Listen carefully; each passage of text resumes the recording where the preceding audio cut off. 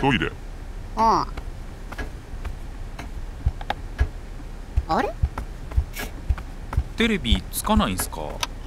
しゃあ壊れた。なんで喜んでんすか？次壊れたら買い替えなんだわ。しゃあ。あ土屋に言うなよ。え？おかしいと思ったことねえ。まだ俺んち昭和なブラウン管なの。まあ壊れるたびに土屋が直しちまうからなんだわ。さすがに買い替えていいから。あ土屋。どっから聞いてた？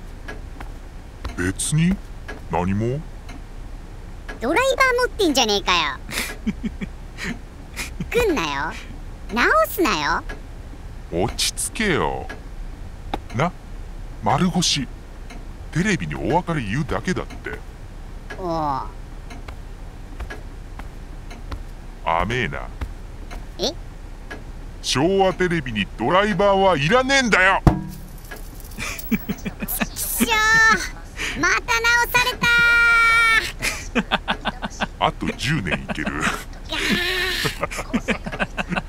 夢の薄型が